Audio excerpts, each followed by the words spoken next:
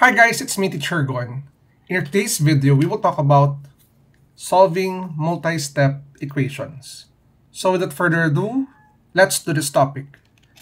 So what we have here are two examples for us to learn how to solve multi-step equations. This is number one and this is number two.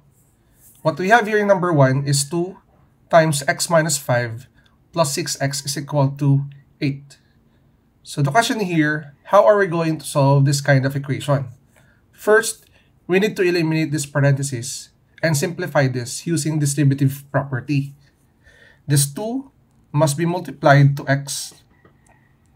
So that is 2x and we will also multiply 2 by negative 5. 2 times negative 5 is minus 10. Then copy plus 6x is equal to 8. The next step is to combine like terms.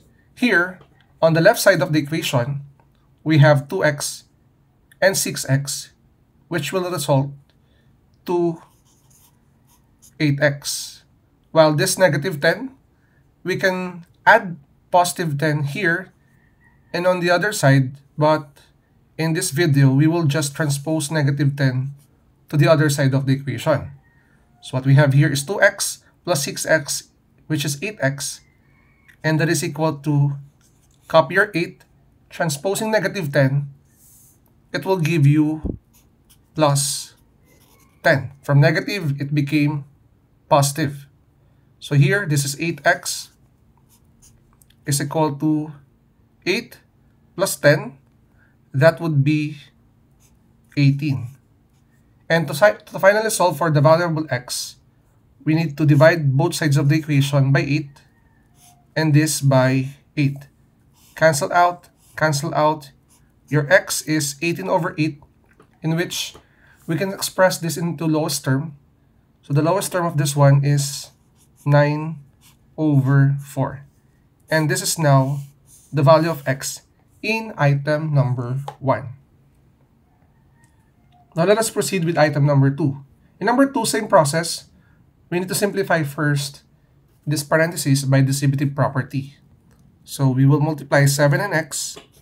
7 times x is 7x. Then 7 times 4, that is plus 28.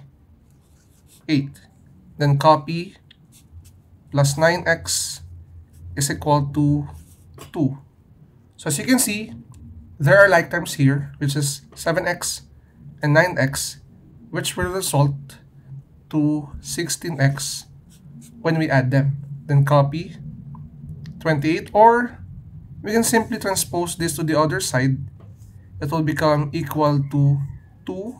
Then from positive, after transposing it to the other side, this is minus 28.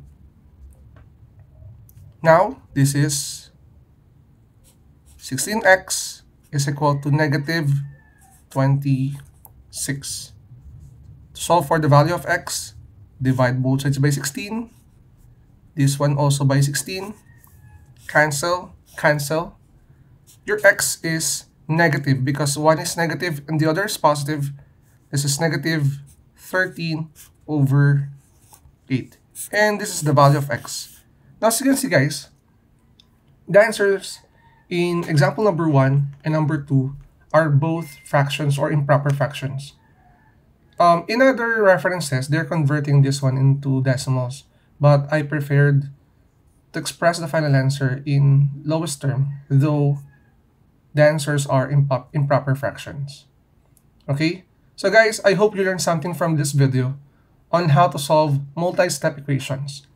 So if you're new to my channel, don't forget to like and subscribe at i-hit na rin yung bell button for you to be updated sa ating latest uploads. Again, it's me, Teacher Gon. Maraming maraming salamat. Bye-bye!